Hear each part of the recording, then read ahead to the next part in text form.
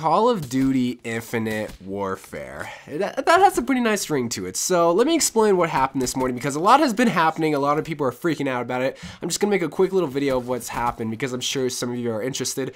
But on the PlayStation Store, a Call of Duty game was uploaded and it was titled Call of Duty Infinite Warfare, yada yada yada. It was soon taken down and that's a pretty big deal because this isn't leaked by like uh, a person that used to work for Activision. No, this was uploaded on the freaking store, and it, the title makes sense with all the speculations how oh this Call of Duty is going to be in space, it's going to be on the moon and whatnot. Infinite warfare, space is infinite.